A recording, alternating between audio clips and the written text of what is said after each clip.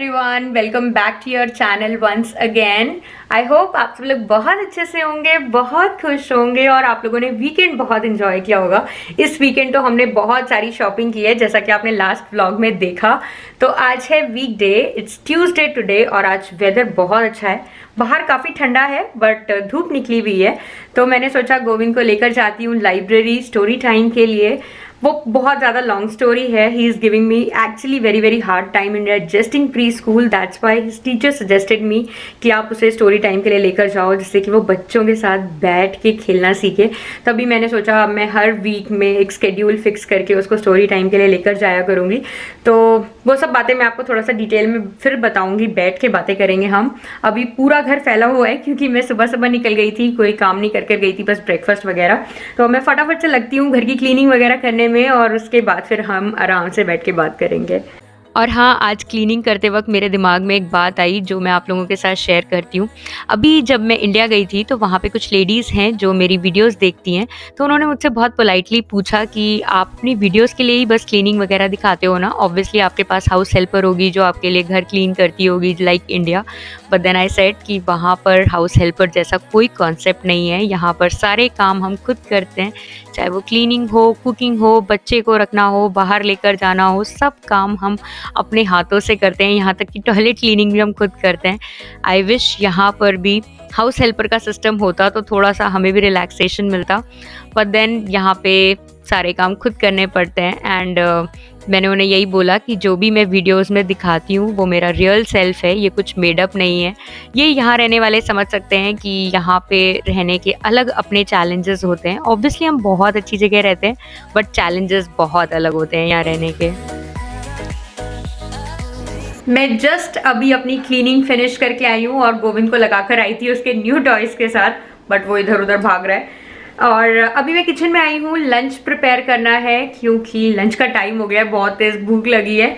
तो वैसे मुझे ज़्यादा कुछ प्रिपेयर नहीं करना, क्योंकि कल डिनर से मेरे पास सब्ज़ी बची हुई है, आलू गोभी की और पनीर की। मुझे बस आटा लगाना है, क्योंकि पराठे खिलाती हूँ या रोटी खिलाती हूँ मैं गोविंद को लंच में। और आज मैं एवोकेडो का पराठा बनाने वाली हूँ। एवोकेडो बहुत ही हेल्दी होता है for your skin for hair for kids every तो मैं मेरे घर में ना एवोकेडो का या तो आ, वो जो गोआक होता है वो सब लोग खा लेते हैं या फिर मैं पराठे में बना के गूंथ के आटा पराठा बना देती हूँ। तो इसी तरीके से एवोकेडो को डाइट में इंक्लूड करने की कोशिश करती हूँ। तो जल्दी जल्दी मैं फटाफट से आटा बनाती हूँ और उसके बाद शावर लूँगी उसके बाद फिर मैं थोड़ा सा सुकून से बैठ के अपना लंच करूँगी क्योंकि बहुत तेज़ भूख लगी है। आज मेरा मिड मॉर्निंग स्नैक भी मिस हो गया क्योंकि चले गए थे लाइब्रेरी फिर लेट आए और आते ही जब घर एकदम आप फैला हुआ देखते हो ना, लगता है कि सारा घर मैसी है। उसके बाद आपको खाने पीने का कुछ नहीं सोचता, लगता है कि फटाफट से पहले काम खत्म करो, उसके बाद देखा जाएगा खाना पीना। तो मैंने लिए हैं दो एवोकैडोज जिसका बस मैं फ्लैश लूँगी थोड़ी सी कसूरी मेथी, अजवाइन और सॉल्ट आप इसके और भी वेरिएंट्स बना सकते हो थोड़ा सा धनिया पत्ता ऐड कर सकते हो instead of kasuri methi.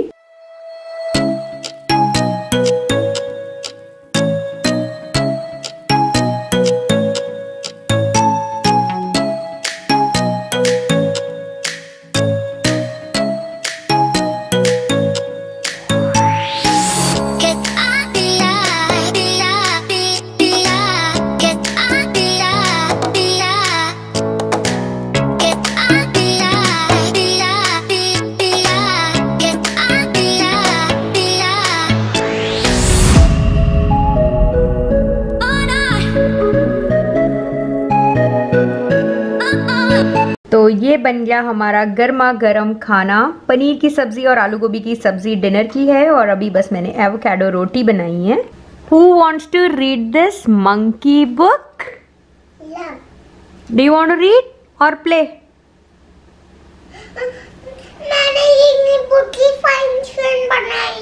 beautiful train good job but it is not train बेटा. ये तो ब्लॉक्स वाला टॉय है ना?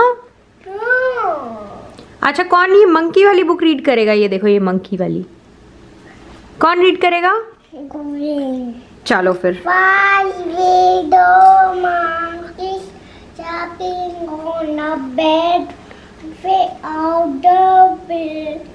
अभी बस मैं गोविंद को सुलाकर आई हूँ और उसको सुलाते सुलाते मेरी भी नींद लग गई। आजकल ठंड के दिन है ना तो थोड़ा सा रजाई में कोजी हो और नींद लग जाती है। अंशुल आए अभी ऑफ़िस से वापस, तब मेरी नींद खुली, तब मेरे को एकदम से झटका लगा कि मैं दिन में सो गई। और आजकल आप मुझे काफ़ी इंडियन वेयर में देख रहे हो। आई विश मैं ऐसी वॉम वुलन कुर्तियाँ और लेकर आई होती इंडिया से। मुझे बहुत अच्छा लगता है ये इंडियन अटायर ना। कुर्ती लेगिंग और दुपट्टा बट मैं दुपट्टा घर में नहीं लेती। विद बिंदी एंड एवरीथिंग आप चाहे कितना भी वेस्टर्नाइज पहन लो लाइक मेरे साथ तो ऐसा है कि मैं चाहे कितना भी जीन्स टॉप वगैरह पहन लूँ बट मुझे अपना बेस्ट लुक इंडियन में ही लगता है। तो मुझे इंडियन वेयर बहुत पसंद है। अभी विंटर टाइम है ना तो बाहर पौने पाँच बजे ही बिल्कुल अंधेरा हो जाता है और शाम को फिर कोई आपको बाहर दिखाई नहीं देता, क्योंकि ठंड में कोई भी नहीं निकलता।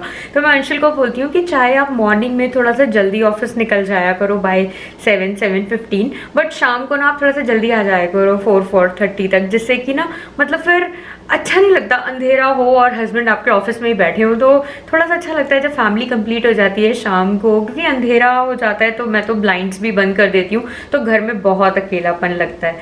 इसीलिए आजकल अंशुल ने अपना ऑफ़िस का टाइम थोड़ा सा जल्दी कर लिया है, वो सात बजे तक निकल जाते हैं, आज तो वो पौने सात ही निकल गए थे और जल्दी फिर घर लौट आते हैं।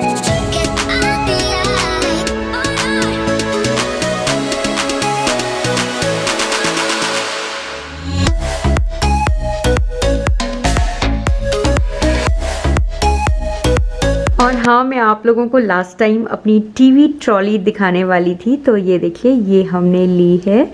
टीवी टेबल कहिए टीवी ट्रॉली कहिए। हमने ये 65 इंचेस टीवी के हिसाब से ली है, क्योंकि हमने इतना बड़ा टीवी ऑर्डर किया है। और ये बहुत ही अच्छी है वुडन फिनिश में है। और बेस्ट पार्ट मुझे इसका ये लगता है कि नीचे बहुत सारा स्टोरेज है, इसमें चार ड्रॉर्स बनी हुई हैं बड़ी बड़ी हैं। अभी तो खाली है। बट मैं इसको अपने तरीके से ऑर्गेनाइज कर सकती हूँ, इसको डेकोरेट कर सकती हूँ। अभी तो फ़िलहाल गोविंद ने अपने टॉयज़ यहाँ पे फैला रखे हैं। बताइएगा कि आपको हमारा टीवी स्टैंड कैसा लगा? और हाँ मैं मॉर्निंग में आप लोगों से गोविंद के प्री स्कूल और लाइब्रेरी की बात कर रही थी तो आराम से बैठ के बात करते हैं। हाँ तो मैं ये कह रही थी कि गोविंद अभी तो काफ़ी हार्ड टाइम दे रहा है मुझे in adjusting his pre school it's normal because वो पूरे तीन साल मेरे साथ ही रहा है। ज़्यादा वो कहीं बाहर नहीं गया। बच्चों के साथ उसने अपना बचपन लाइक फ़र्स्ट थ्री ईयर्स नहीं खेला क्योंकि ट्यूसॉन में हमारे आसपास इतने बच्चे नहीं थे। तो it's okay he is not getting adjusted to the preschool so quickly तो उसकी टीचर ने हमें सजेस्ट किया था कि आप उसे लाइब्रेरी लेकर जाइए, जहाँ पर बुक रीडिंग सेशंस होते हैं, वहाँ पे प्ले एरिया भी बना रहता है, जहाँ पे बहुत सारे बच्चे मिलके खेलते हैं। तो he will you know get accustomed to this culture of playing with other kids तो आज मैं पहली बार उसको लेकर गई थी and I had wonderful experience Govind को भी बहुत अच्छा लगा बट ऑब्वियसली वो अपना फुल एक्सपीरियंस तो अभी मुझसे नहीं बता सकता but I can see on his face he was very very happy वहाँ पे स्टोरी टाइम था तो उसने स्टोरी इंजॉय करी। मैं भी थी उसके साथ तो उसको कंफर्टेबल लग रहा था। स्टोरी सुन रहा था वो आराम से कापेट पे बैठ के और सारे पेरेंट्स चेयर पे बैठे हुए थे। एंड uh, वहाँ पे एक बहुत बड़ा सा ट्रेन वाला टॉय था तो उसके साथ भी उसने बहुत प्ले किया। एंड यहाँ की लाइब्रेरीज ना बहुत अच्छी होती हैं। आप यहाँ पे आई थिंक एट या फिफ्टीन बुक्स होती हैं जो आप इशू करा सकते हो इन एट अ टाइम तो हमने तो आज दो ही बुक्स ली. गोविंद ने अपनी चॉइस करके बुक्स ली हैं. एक तो ये वाली उसने बुक ली थी. इसमें एक्चुअली ये सब है. ऐसे आप हैंड से कुछ कुछ चीज़ें हिला सकते हो. तो बच्चों को ये सब चीज़ें बहुत अच्छी लगती है. और एक उसने मंकी वाली बुक ली है. And to my surprise libraries में यहाँ पर टॉयज़ भी होते हैं जो कि आप इशू करा सकते हो बच्चों के लिए. तो गोविंद ने दो टॉयज़ भी लिए. एक तो ये वो टॉय लेकर आया है इसमें स्टिक्स हैं तो आप डिफरेंट डिफरेंट चीज़ें इसमें बना सकते हो डाइस से खेलना होता है। एंड एक ये मुझे टॉय बहुत अच्छा लगा। मैचिंग टॉय है ये अल्फ़ाबेट वाला A for apple B for butterfly तो वो मैच कर, करना है और ऐसे पजल बनाना है। तो ये तो काफ़ी अच्छा एजुकेशनल टॉय मुझे लगा। तो यही सजेशन रहेगा जिसके भी बच्चे प्री स्कूल में सेट होने में थोड़ा सा दिक्कत कर रहे हैं और सेटल नहीं हो पा रहे तो आप भी यही ट्राई कर सकते हो। बच्चों को लाइब्रेरी लेकर जाओ, बच्चों को दोस्तों के घर लेकर जाओ, जैसे मेरी एक, मेरी यहाँ पे तीन फ्रेंड्स हैं, उनके गोविंद के बराबर के बच्चे हैं तो मैं उनके घर लेकर जाती हूँ। अभी गोविंद मेरे बिना तो नहीं खेलता है बट स्टिल उनके बच्चों के साथ वो खेलता है जब मैं उनके घर पे होती हूँ, या फिर मैं उनको अपने घर बुला लेती हूँ। तो यही सब कर रही हूँ, जिससे कि गोविंद को भी थोड़ी सी हैबिट लगे। आप भी ट्राई कर सकते हो।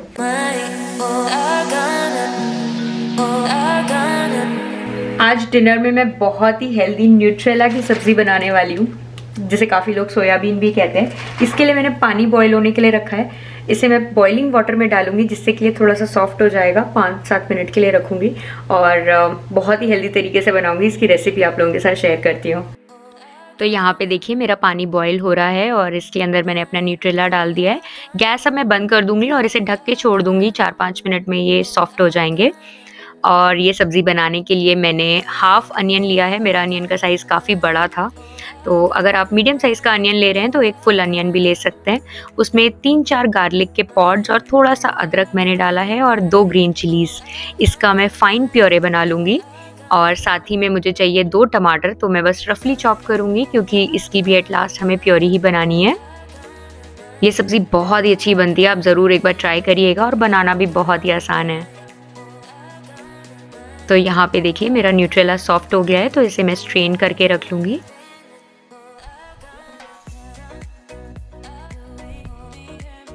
और हम इसी पैन में दोबारा से सब्ज़ी बनाएँगे। बहुत ज़्यादा बर्तन हम नहीं इस्तेमाल करेंगे क्योंकि खुद ही वॉश करने पड़ते हैं। और वैसे भी ये वन पॉट डिश है। बहुत ही अच्छी लगती है खाने में भी। तो देखिए, मैंने घी लिया है। इन सारी सब्जियों को मैं घी में ही चौंकना प्रेफर करती हूँ, बट आप चाहें तो ऑयल भी ले सकते हैं। और उसके लिए फिर मैंने हींग जीरे का तड़का लगाया है और उसमें अपना अनियन वाला जो प्योरे बनाया है, वो डाल दिया है।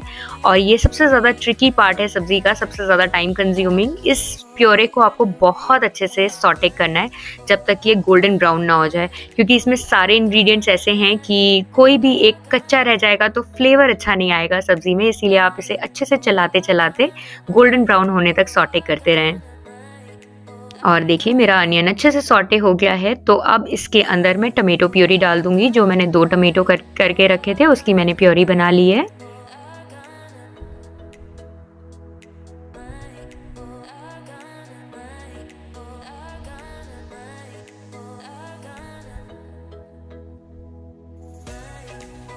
और जब आपको लगे कि आपकी प्योरी हाफ़ वे डन हो चुकी है हाफ़ वे कुक हो चुकी है, तब इसमें आप मसाले मिला लें। तो मैंने इसमें coriander powder kitchen king masala और थोड़ा सा फ्लेवर देने के लिए पनीर मसाला डाला है। मेरे पास आज पनीर मसाला नहीं था तो मैंने छोला मसाला डाल दिया है बट आप पनीर मसाला डालिएगा तो फ्लेवर बहुत अच्छा आएगा। और साथ ही में मैंने इसमें नमक भी डाल दिया है। और ये देखिए, टमाटर भी पक चुका है अच्छे से और सारे मसाले भी अच्छे से पक गए हैं। तो अब इसके अंदर मैं पानी डाल दूँगी ग्रेवी बनाने के लिए। ये कम्प्लीटली आपकी चॉइस पे डिपेंड करता है कि आप ग्रेवी बहुत पतली या थोड़ी गाढ़ी बनाना चाहते हैं। मैं मीडियम कंसिस्टेंसी की बनाती हूँ ग्रेवी। और बस पानी डालने के बाद अब इसे बॉयल होने दीजिए, जिससे कि सारे मसाले सब कुछ एकदम पुट टुगेदर हो जाएँ और उसके बाद हम इसमें न्यूट्रेला डाल देंगे, जिससे कि न्यूट्रेला भी थोड़ी सी ग्रेवी सोख लेगा और ऊपर से गार्निश करने के लिए थोड़ी सी कसूरी मेथी भी मैं इसमें डालूँगी। और हाँ अगर आपके पास मलाई है दूध की तो आप इसमें दो चम्मच मलाई डाल सकते हैं। थोड़ा सा रिचनेस आ जाएगी सब्ज़ी में बट मेरे पास मलाई नहीं थी तो मैंने इसमें बटर ऐड कर दिया है और ऊपर से थोड़ी सी कसूरी मेथी। अब बस मैं इसे गैस पे रखे रहने दूँगी चार पाँच मिनट और, जिससे कि सारे मसाले आपस में अच्छे से मिक्स हो जाएँ और उसके बाद फिर मैं इसे डिश आउट कर लूँगी। और मेरा लाडला गोविंद भी उठ गया है सोकर तो सोचा उसको दूध बनाकर दे देती हूँ। और ये डब्बा जो है वो बादाम ड्रिंक का है बट इसमें मैंने बॉनविटा डाला हुआ है। तो उसके लिए बॉनविटा मिल्क बना रही हूँ, थोड़ा सा जैगरी पाउडर ऐड करके। मैं उसको शाम को दूध दे देती हूँ, क्योंकि वो डिनर करने के बाद रात में दूध पीना प्रेफर नहीं करता है इसीलिए शाम को उसको दूध दे देती हूँ और उसके बाद फिर डिनर कराती हूँ थोड़ी देर बाद। तो उसके डैडी ने उसको दूध वगैरह पिला दिया है और अभी डैडी गोविंद के साथ खेल रहे हैं, क्योंकि ये उनका अपना टाइम होता है, सुबह से डैडी की शक्ल वो अब देखता है तो वो इस टाइम प्रेफर करता है कि डैडी के साथ खेले। तो बस अभी उसको उसके डैडी टॉयज से खिला रहे हैं, जो वो आज लाइब्रेरी से इशू करा के लेकर आया है।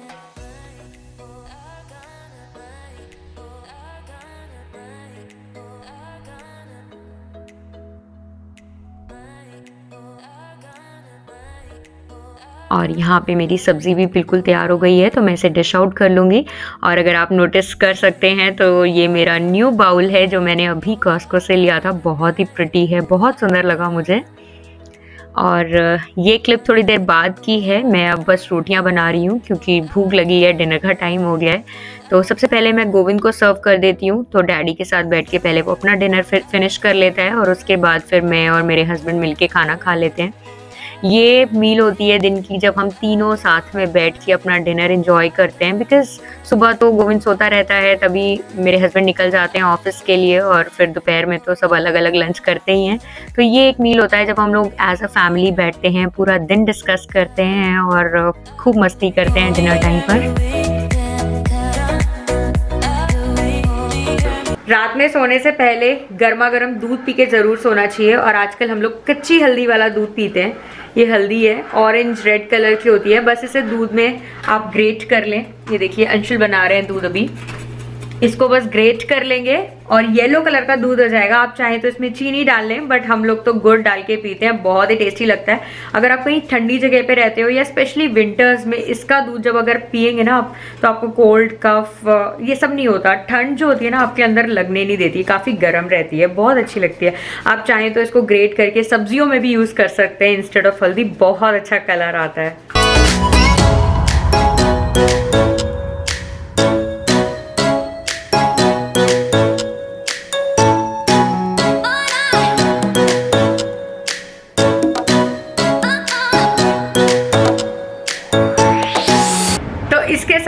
आज के ब्लॉग को ख़त्म करते हैं। होप करते हैं आपको अच्छा लगा होगा ब्लॉग अगर अच्छा लगा है तो प्लीज़ इस वीडियो को लाइक ज़रूर करिएगा शेयर करिएगा। और चैनल को अगर आपने अभी तक सब्सक्राइब नहीं किया है तो प्लीज़ कंसिडर सब्सक्राइबिंग एंड मैं बहुत ही जल्दी मिलूँगी फिर से एक और नए वीडियो में। तब तक के लिए आप ढेर सारा अपना ख्याल रखिए खुश रहिए take care bye good night Govind, do you want to say something? Bye, good night. Bye-bye!